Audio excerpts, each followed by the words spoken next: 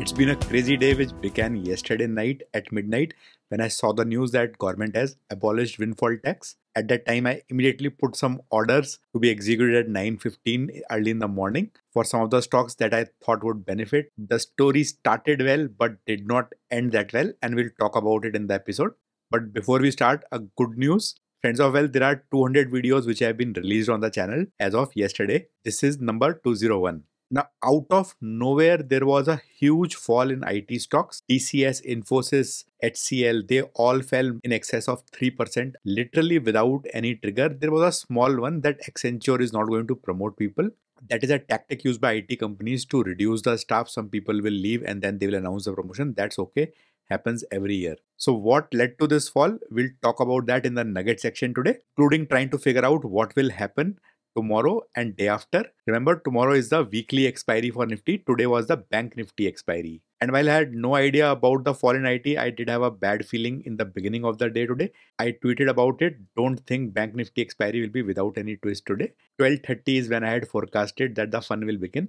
This was the fall in Nifty, roughly around 1240, not 1230. Now, the biggest news today, which came around 5 o'clock, the cabinet has approved nearly 25,000 crore worth of subsidy. The government is firmly now in the election mode. Now, All this is okay. The problem is this news had already leaked out the fertilizer stocks had already rallied 8 9 10% earlier in the day and i'm not sure if this particular subject comes under insider trading from sebi's perspective because the cabinet is involved no surprises the bottom layer today is all IT. The top layer is completely L&T and Nestle are probably the only exceptions.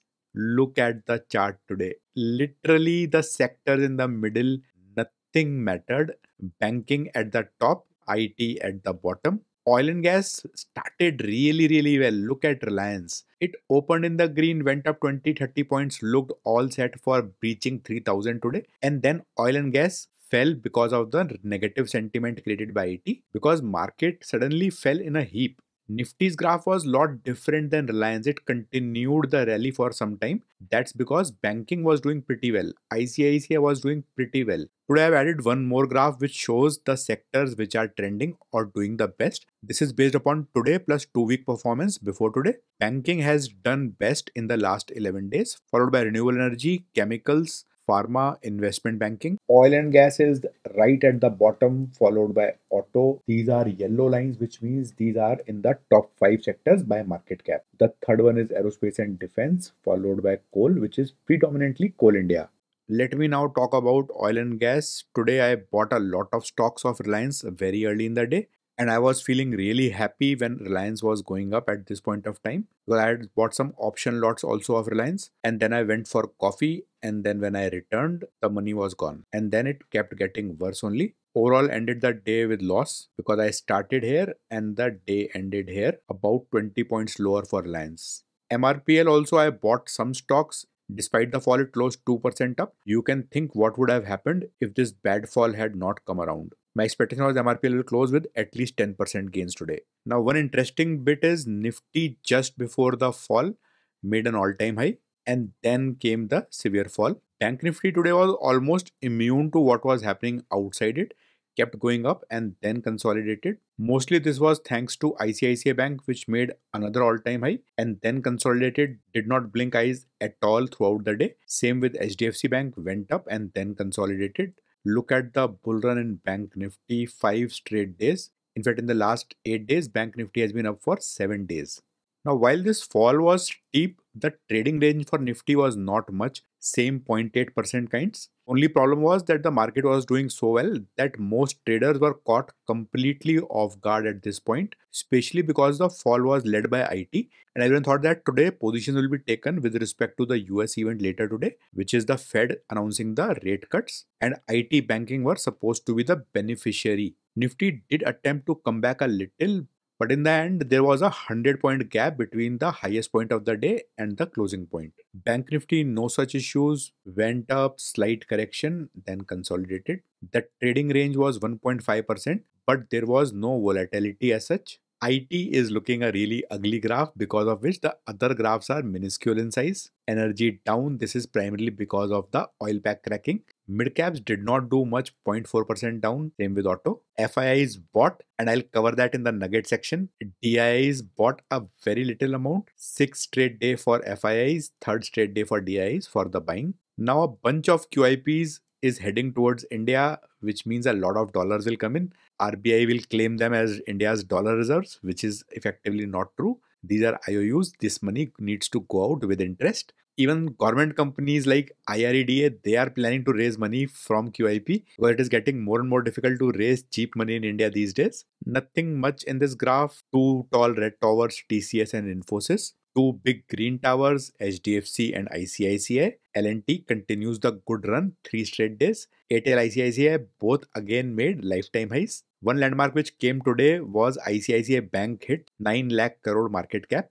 Bitcoin did cross 60,000 but it is back in the red right now. US markets have opened slightly in the green. This is yesterday's data, but it will all depend upon the final number given by the Fed chair. Anything less than 0.5% rate cut will be decimated. Markets will crack se- severely. Whatever may be the announcement, some of the biggest investors, including Ray Dalio, they have downplayed. Doesn't matter, they have said it's insignificant movement. After George Soros, probably Ray Dalio is the most pessimist for the US market right now among the big people in the US markets. Sun Pharma managed to get ahead of Wipro. Otherwise, the bottom pack today was completely dominated by IT. 30 stocks down, 20 up in Nifty.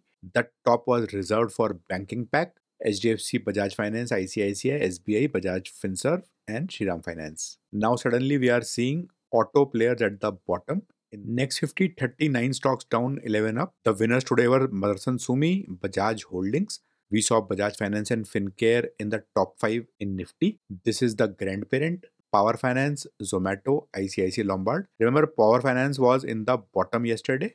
The laggards, IRCTC, Zydus, Torrent, Jindal Steel, Pidilite. Airtel made another lifetime high today. And immediately after making the lifetime high, Airtel came crashing down.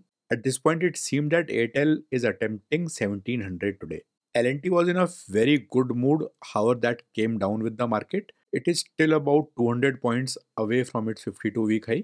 Bank Nifty, only Kotak Mahindra and Bank of Baroda were down a bit. Otherwise, HDFC, ICICI, SBI, Axis, PNB, IndusInd, Bajaj Finance, PFC, everyone was in a good mood. IFC, of course, is down every day. HDFC, despite the good run today, is still away from the 52 week high. The high is 1794.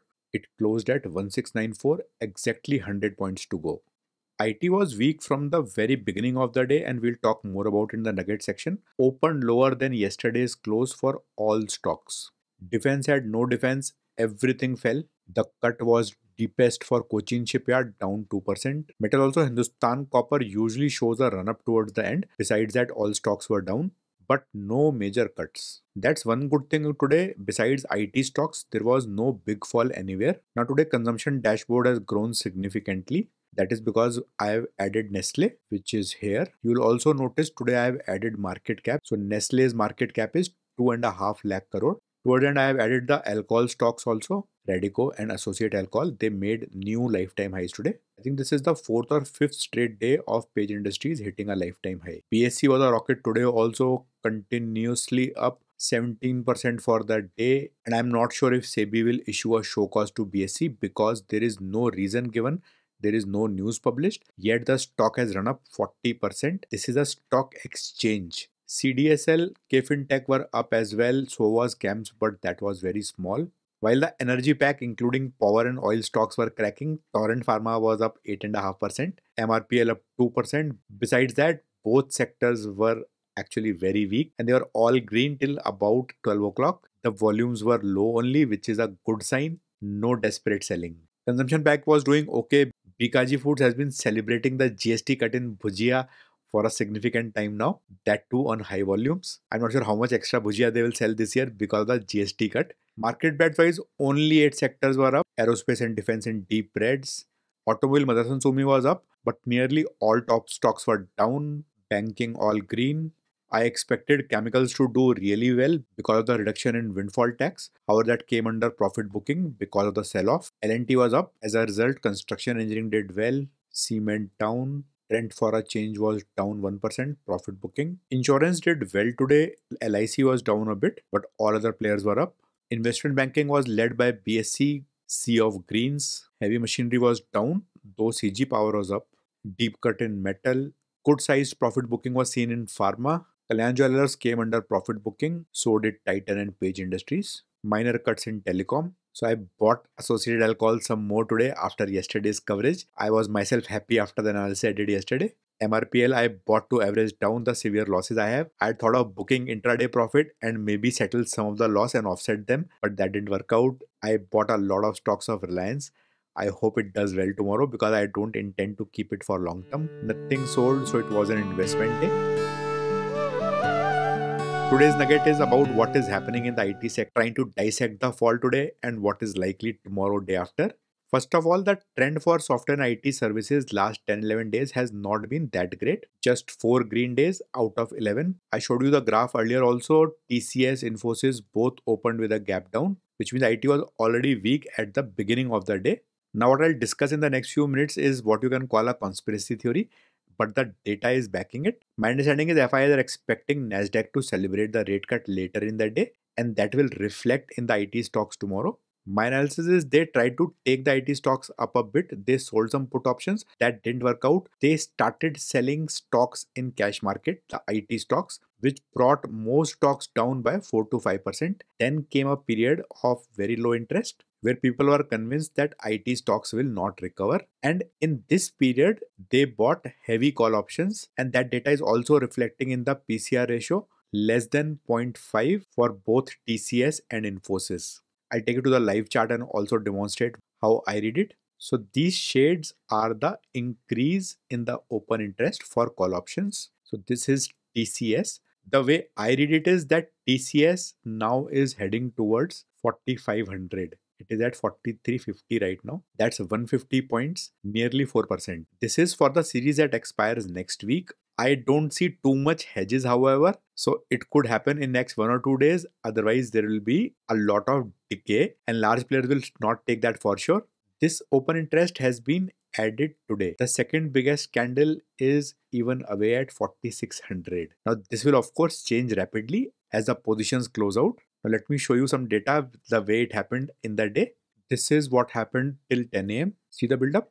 Let's now go to 12 o'clock which was before the fall now let's go to 1 o'clock 130 so the red bars here are increasing continuously which means the call open interest is continuously increasing but there is no shorting happening as such. The put open interest is remaining same. Let's go to end of the day. Let's check HCL Tech 945 so put open interest decreased for 1780 levels but increased for 1740 that is the shorting happening. See the red bars growing now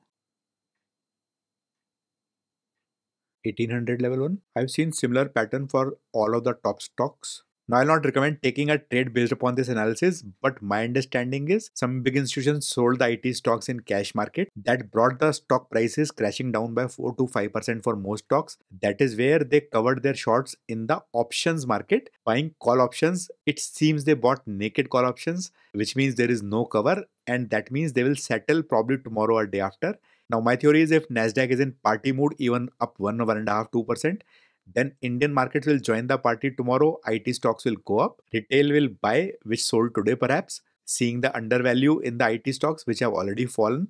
That is the background I gave when I showed you the trend for last 10 11 days. That is when the call options will be squared off the open interest will settle down and then people will be ready for next week's expiry also because we'll have to otherwise prepare ourselves for delivery in the next week starting Monday. Hope this analysis was useful. Take your own decisions. This video was only for educational purpose. Tomorrow's video might be delayed a bit because I have to step out, but I'll try and release as soon as possible. Thanks for watching. I'll see you tomorrow.